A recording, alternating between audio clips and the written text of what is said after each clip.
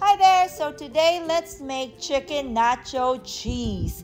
I use dark meat, but you can certainly use white meat like chicken breast or buy the whole rotisserie chicken and just shred them and use it for this recipe. So let's saute my aromatics first, which is our garlic and onions, and then we'll add the bell peppers. So let's saute all the veggies until they're a little tender, and then we're gonna season them with a little bit of salt and pepper, or if you want, you can use red chili pepper flakes for a little heat.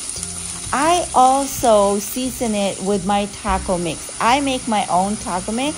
I don't add salt so that I can control the salt in the recipe that I'm going to use my taco mix.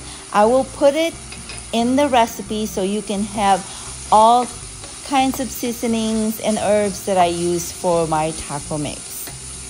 And then here I'm going to add my chicken. The chicken that I put my in, I put it in my Instapot and let it um, cook for a while until it's tender and then I shred them.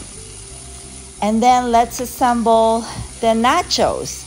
I layer the tortilla chips and then I put a little bit of my cheese and then the chicken mixture and then some green onions and then layer again with some tortilla chips and then again green onions and the chicken mix.